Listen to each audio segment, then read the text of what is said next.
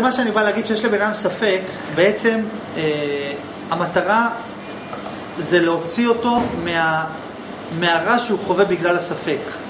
זאת אומרת, זה שיש לך ספק זה טוב, זה יותר מעניין. כמו ילד שנכנס למגרש, כמו נגיד שאתה רואה משחק כדורגל, אם מראש היית יודע מי ינצח ומתי זה ייכנס, זה כבר לא מעניין.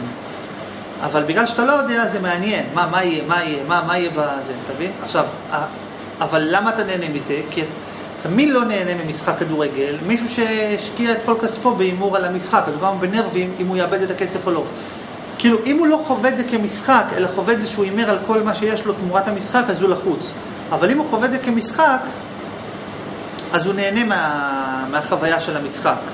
ולכן המטרה היא שכאשר בן אדם בא עם איזו התלבטות, המטרה היא זה לנסות לגרום לו לחוות את ההתלבטות כמשחק. ואיך גורמים לו לחוות את ההתלבטות כמשחק? על ידי, שמר, על ידי שגורמים לו להבין שהכל טוב.